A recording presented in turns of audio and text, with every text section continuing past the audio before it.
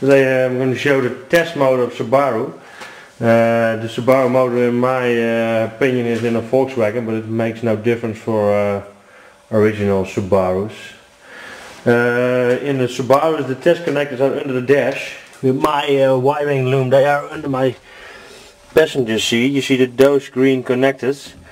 I'm going to connect those uh, two connectors together but you must be certain that your ignition is uh, in the first place off and you're never going to start your engine.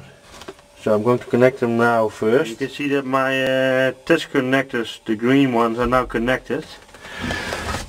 So when I now do my ignition on the first uh, position you will hear there some test that's going to be done.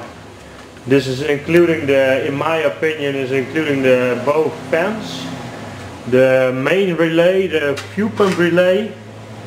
The fuel pump is going to run and uh, some other sensors, but it's depending on what type of model you have. It can be uh, a lot more, in my opinion it's just five things. So, uh, but you have to be certain when you do this test, never put the ignition further than just position 1, just like in my position.